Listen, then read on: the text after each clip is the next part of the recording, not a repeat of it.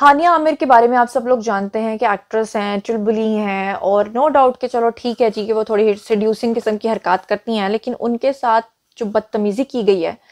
और जिस तरह से उनको नोचा गया है जिस तरह से उनको मोब के अंदर जो है वो आ, गंदी हरकत उनके साथ की गई हैं। Aslam my social media family. उम्मीद करती हूँ कि आप सब लोग हिफ्ज़ अमान से होंगे। आज मैं ज़रा गुस्से में हूँ। क्योंकि एक बहुत ही नाजेबा किस्म का, बहुत ही घटिया किस्म का वाक्य है जो मैं आपको रिपोर्ट करने जा रही हूँ, वो भी हमारे मुल्क की सुपरस्टार के साथ। हानिया आमिर के बारे में आप सब लोग जानते हैं कि एक्ट्रेस हैं, चुलबुली हैं और नो डाउट कि चलो ठीक है जी कि वो थोड़ी सेड्यूसिंग किस्म की हरकत करती हैं, लेकिन उनके साथ जो बदतमीज़ी की गई है और जिस तरह से उनको नोचा गया है, जिस तरह से उनको मोब के अंदर जो है वो गंदी हरकत उनके साथ की गई हैं। वहाँ के जो लड़कों ने उनके साथ जो कुछ किया वो सारा वाक्य मैं आपको बताती हूँ कि हुआ क्या है। और जब उन लड़कों से हमारे कॉरेस्पॉन्डेंट ने बात की और कहा कि आप लोगों ने ये हरकत क्यों की तो उसका सारा इल्ज़ाम उन्होंने हानिया पर लगा दिया और हानिया जो है, वो रोती हुई अपनी गाड़ी में किस तरह पहुँची। तकरीबन उनके कपड़े जो हैं, वो तकरीबन फट चुके हुए थे। बुरा हाल था, नोच नोच के ऐसे जैसे कोई गोश्त का टुकड़ा होता है। क्या ये सारा वाक्य है? ये मैं आपको बताती हूँ जनाब। मामला कुछ यूँ पेश आया कि आपको पता है कि जितने भी हमारे पाकिस्तानी स्टार्स हैं, इनको डिफरेंट मॉल्स के अंदर शॉपिंग मॉल्स के अंदर या डिफरेंट सिटीज़ के अंदर जो है वो बुलाया जाता है और इनको पे करके बुलाया जाता है कि भाई आएँ, आप इवेंट्स होते हैं, शादियाँ होती हैं स्टार्स होते हैं तो वो डिफरेंट जगहों पर जाते हैं। इसी तरह से गुजरा वाला पाकिस्तान का एक शहर है, जो कि बहुत ज़िंदा दिलाने, जैसे लाहौर कहते हैं ऐसे ज़िंदा दिलों का दिल रखने वाले लोगों का शहर है, ज़्यादा खाने वालों का शहर है, चिड़ों का शहर है, बटेरों का शहर है जी। लेकिन अनफॉर्चुनेटली वहाँ पर ये वाक्य पेश आया कि जहाँ पर कुछ ऑर्गेनाइजर्स थे, उन्होंने बुलाया था हानिया आमिर को और वहाँ पर उन्होंने बेसिकली उस इवेंट का नाम रखा था, एक मीट एंड ग्रीट सेशन एक रखा था जिसमें जो स्टार्स हैं उनको वो बुलाते हैं और जितने भी लोग हैं वो वहाँ पर आते हैं और अपने दिल की बात जो है वो उन स्टार्स के सामने रखते हैं। हानिया को उनकी मुँह मांगी रकम दी गई और उसके बाद हानिया जो है वो बायर कराची से यहाँ पर पहुँची सियालकोट। वहाँ से जनाब उनको लेकर पहुँचा सियालकोट आई थिंक एयरपोर्ट पे पहुँची या लाहौर एयरपोर्ट पे पहुँची, लेकिन वहाँ से उनको पहुँचाया गया जी गुजरा वाला मीट एंड ग्रीट सेशन में।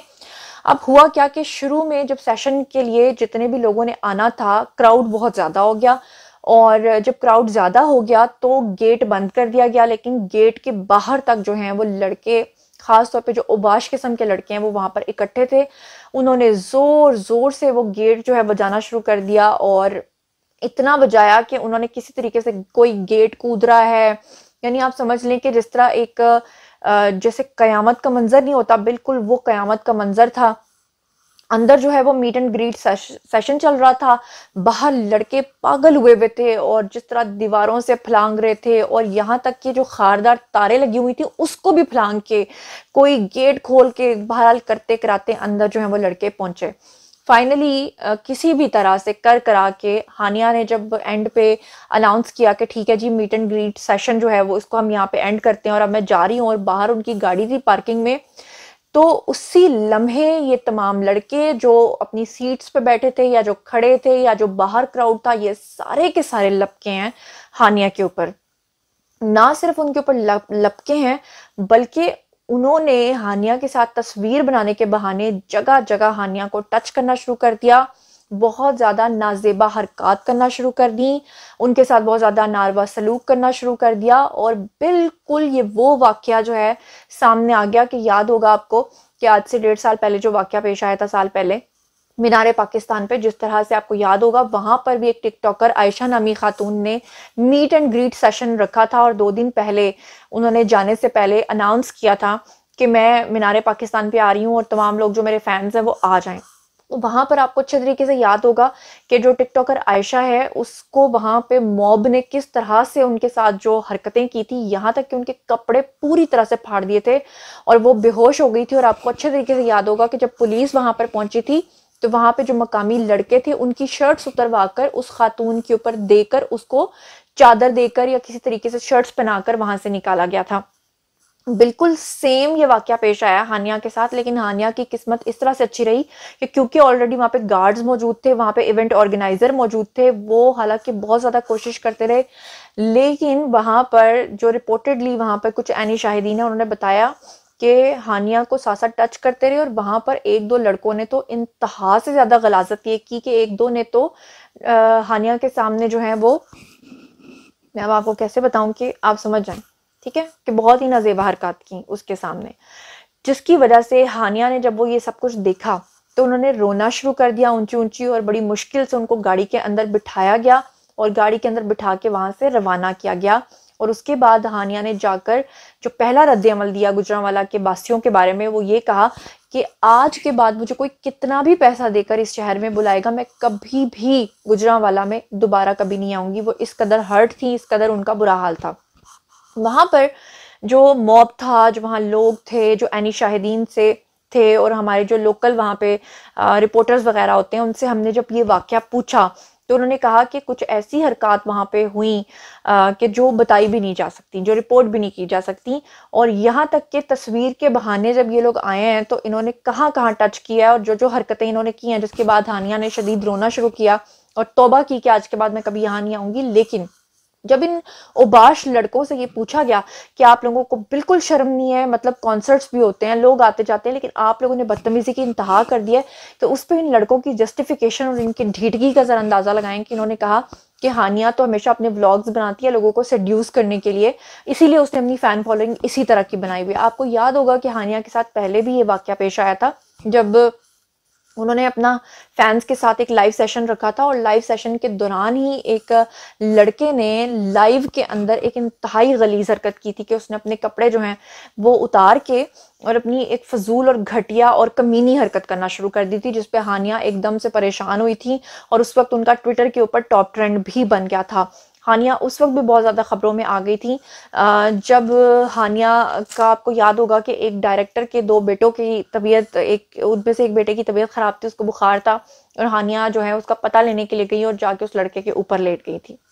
तो बाद में हानिया ने कहा था कि वो मेरा भाई है, लेकिन लोगों ने इसको बहुत सख्त माइंड किया था। अब यहाँ पर लोग जो हैं, वो दो धड़ों में तकसीम है। एक वो हैं जो कहते हैं कि लड़की बुरी हो, अच्छी हो, जो मर्ज़ी हो, लोगों को क्राउड को क्या हक पहुँचता है कि वो किसी को अच्छा या बुरा मानकर उसके ऊपर हमला कर दें या उसको, वो जो मुझे